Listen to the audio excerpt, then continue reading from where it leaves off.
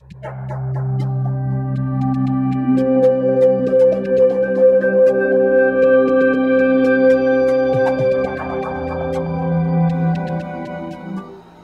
Lord be with you.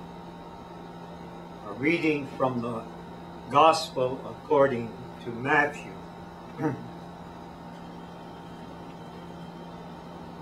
As Jesus and his disciples were gathering in Galilee, Jesus said to them, The Son of Man is to be handed over to men, and they will kill him and he will be raised on the third day.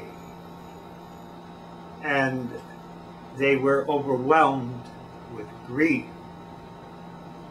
When they came to Capernaum, the collectors of the temple tax approached Peter and said, Does your teacher pay the temple tax? Yes, he said. When he came into the house, before he had time to speak, Jesus asked him, What is your opinion, Simon? From whom do the kings of the earth take tolls of or census tax? From their subjects or from foreigners? When he said from foreigners, Jesus said to him, Then the subjects are exempt, but that we may not offend them, go to the sea, drop in a hook, and take the first fish that comes up.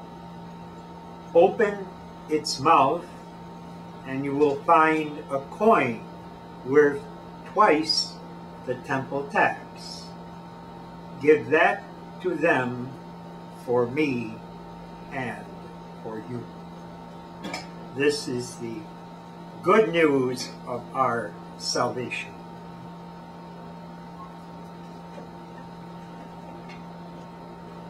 We all realize that in the New Testament, in the different Gospels, there are episodes where Jesus is interacting with Peter.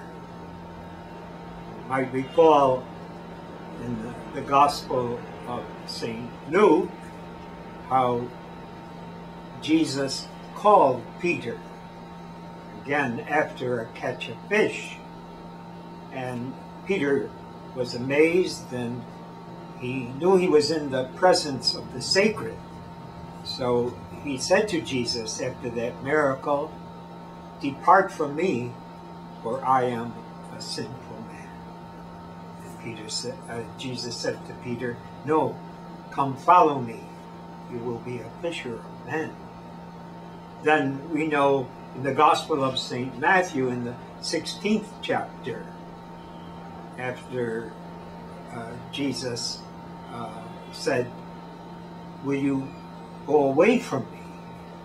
Peter, as a spokesperson for all the disciples, answered, Lord, to whom shall we go? You have the words of eternal life. But we also know that Peter went through a crisis in his faith with Jesus.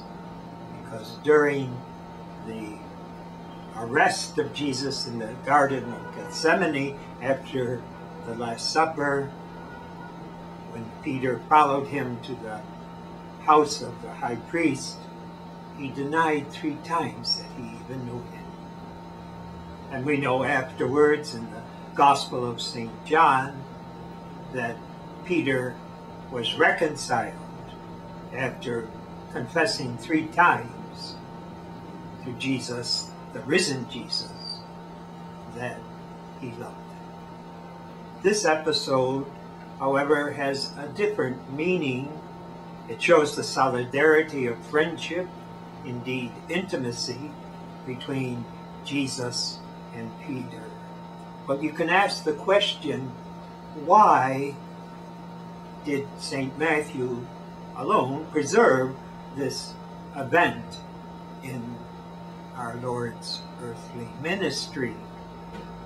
And the scripture scholars tell us it was for the community of St. Matthew. He was teaching the members of his community an important lesson for them as they were baptized and entered in to the church, to the community of God, to the kingdom of God. Among the new members, they were asking a question.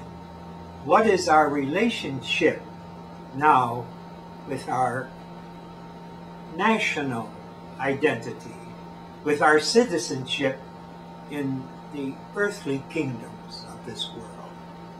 What is, therefore, our citizenship in the new kingdom, the kingdom of Jesus? And St. Matthew wanted to use this example to tell them actually they are members of two kingdoms kingdom of this world, our national natural uh, society, our nation, our country, and we should be devoted to that as good patriots, following the laws and honesty and justice. And that is the way we prove our love for the other members of our society. And at the same time, we put first our citizenship in heaven. Because that is the great mystery that we're living because of our faith. We realize that we are members of the communion of saints. And through the Holy Spirit, we are united with those saints in heaven. We are united also with the souls in purgatory. And then we're united throughout the whole world with other members of the church on pilgrimage to eternal life. So our obligations are not just one to one type of society. We have two that we belong to. Our natural, human endeavors, and we should fulfill our responsibilities there with integrity, generosity, service, not being corrupt or self-centered, as good citizens of our country and our local communities. But at the same time, our motivation is not just that we love our country, our motivation goes much deeper in our love of Jesus. And through him, we are members of the new family of God, where God is our Father, Mother Mary is our mother, and Jesus is our brother. And this is most important for us to learn in our own experience as we become wise, not only on the human level, but on the Christian level.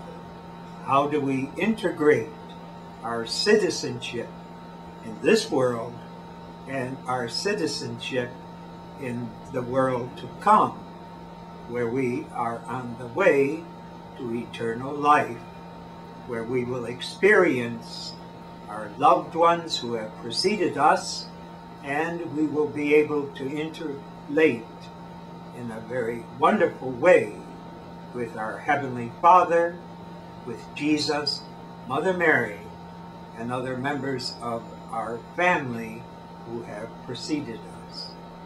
The great mystery that Jesus is teaching in today's gospel is the interrelationship of these two kingdoms.